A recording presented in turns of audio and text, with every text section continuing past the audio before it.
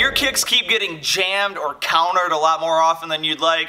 If that's the case, keep watching because in this video we're going to talk about one of the most common mistakes that people make while they're training their kicks and we're getting started right now.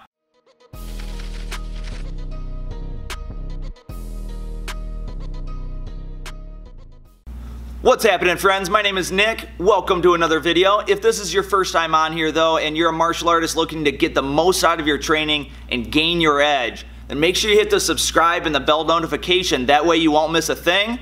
But with that, let's get to it. Alright, let's start this off by asking ourselves a quick question. If our legs are a lot heavier, a lot slower, and they have to travel a long range, and that my back leg, if I'm throwing, let's say, a back leg round kick to the head, it has to go from all the way down here all the way up to their head before they can do this. All right, so in that case, why in the world would I kick in the first place? Mm. And obviously, a couple things come to mind. The first, most obvious one is that it's a lot of power that I can generate with it. Because of the sheer mass and the momentum that I can generate, you can create some devastating impact. But the really the main reason that we're going to be talking about today is distancing. So if I'm throwing a kick and I'm throwing a punch, I can obviously throw my kicks from further away and therefore utilize an entirely different distance away from my opponent to kind of maximize what I can do. All right, now this brings us to the mistake that I see quite often when people are training on the bags or even with partners. And that's that they throw their punches from here, one, two, and then throw their kick from the same range, like this. All right, so a couple things bad happen with this. First of all, I completely eliminate my kicking distance, which is the whole advantage of throwing a kick. All right, second of all, I'm kicking, I have to kick with my hips back because of the distance. So you, you can't even rotate into the kick entirely. Now, there are certain instances where you will kick from close range, but those are more exceptions than rules. All right, and that usually happens as we progress up in rank not as much in lower rank. So as we move with our techniques, we need to make sure that we're utilizing the distance that they're made for. Now, if I'm throwing my punches from here, in order for me to kick, one of two things would have to happen.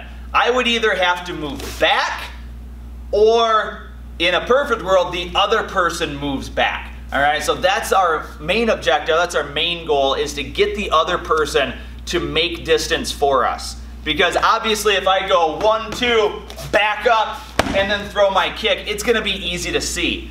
But if I get the other person just by sheer intent, if I'm coming forward and punching and they really want to get out of the way, they're gonna back up and that's gonna make distance for your kick. So that's really what we wanna look at as we're training.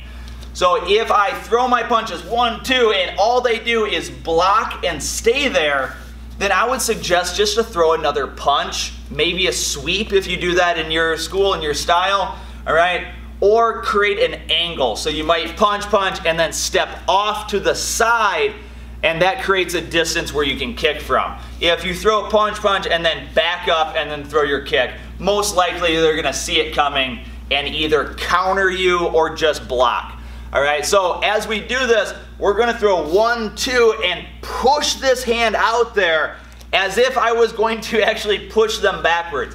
This is gonna create a little bit more willingness to move away, and that's gonna help you get that technique. Now, if you're training on the bag, all you have to do is back up a little bit, throw your techniques from here at a range where you won't be able to hit the bag. So if I throw from this distance, no matter how hard I try, obviously I'm not going to reach the uh, reach the bag with a punch. So I'm going to go one, two, and then right from here, I'm not going to pull this back to a guard. I'm going to go right from this technique, right into my kick, and then right back down. All right, so on the bag, it's fairly easy, but what we want to train is sheer technique and fluid motion. So I'm not going one, two, back, and then go. I'm going one, two, and right at the end of this technique, my kick will go. All right, now when you're training with a partner, instead of just working on distancing, you're gonna also have to work on timing.